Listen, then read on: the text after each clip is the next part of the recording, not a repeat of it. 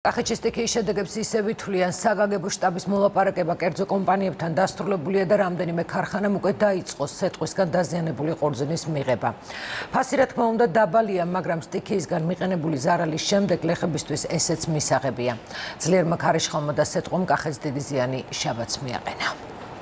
ამის დაკრიფის აზრი ერთი ის არის რომ ზედარ დაძმარდეს და ზედარ დამჟავდეს და რაღაცა ის ორი კაპიკი მივიტანოთ და ჩაობაროთ ან რაღაც თუ რამეს მოგცემენ და თუ არა და ზედვე წუდარჩეს რა აზრი აქვს მამუკა ბაჩიაშვილი წელს 2 ტონამდე მოსავალს ელოდა, თუმცა ნახევარ საათიანმა სეტყვამ და ქარიშხალმა ვენახი თითქმის მთლიანად გაუნადგურა.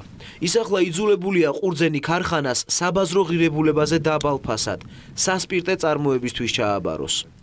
რა უნდა ვქნათ, რა ვიცი, ალბათ სულ ყველაფერი საყიდელი გაგვიხდება. საყიდელი რითი უნდა იყიდო? თუ ეს არ იქნება, რითი ვიყიდოთ? ერთი შემოსავალი წყარო შემოდგომისა ეს იყო და სიმინდი რო ან ღორი გაზარდო, კათამი გაზარდო. საგანგებო შტაბის მიერ კერძო კომპანიებთან გუშინ დაწყებული მოლაპარაკება წარმატებით დასრულდა. დილიდან ახმეტის ღვინის ქარხანამ ყურძნის მიღება დაიწყო. 1 კილოგრამი რქაწითელის ფასი 50 თეთრია. სეტყვისგან დაზიანებული მოსავლის ხარისხის გათვალისწინებით მევენახეები შეთავაზებული ფასით კმაყოფილები არიან. უნდა იყოს ცნობა, რომელი რომელი სოფელიდან არის.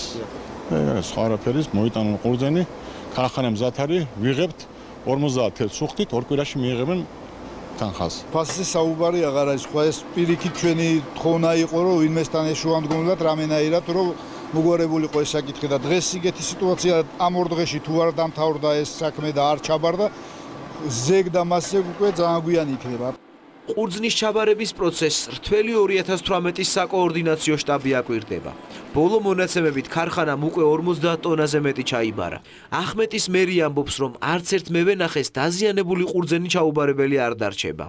უკვე დაწყებულია ეს პროცესი, აქტიურად მიმდინარეობს, შემოდის ტრაქტორებით, მანქანებით დაზიანებული ყურძენი და არც ერთ მოსახლეს ფერმერს არ აქვს პრობლემა ამ პროდუქციის ჩაბარებაზე. დილას მოვინახულეთ და დავწმუდით, რომ ახმეტის ღვინის ქარხანამ უკვე დაიწყო დაზიანებული ყურძნის ჩაბარება და ვფიქრობთ, რომ ჩვენი შტაბისთვის ეს სწორედ ერთ-ერთი მნიშვნელოვანი ფუნქციაა, რომ დროულად იპოვოს ერთმანეთი მყიდველმა და გამყიდველმა.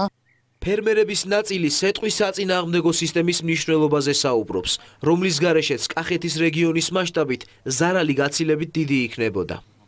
ეფექტურია თითქმის სეტყვის საწინააღმდეგო თორე აქანდის კახეთის ზონაზე მართალი ყურძენი არ იქნებოდა დაწყებული მაისიდან დამთავრებული დღემდე. სტიქია მთელავსა და ახმეტაში 500 ჰექტარზე მეტი სასოფლო სამეურნეო სავარგულები დააზიანა. განსაკუთრებული ზარალი ახმეტის მუნიციპალიტეტის 4 სოფელშია, სადაც ვენახები და ერთწლიანი კულტურები თითქმის მთლიანად განადგურდა.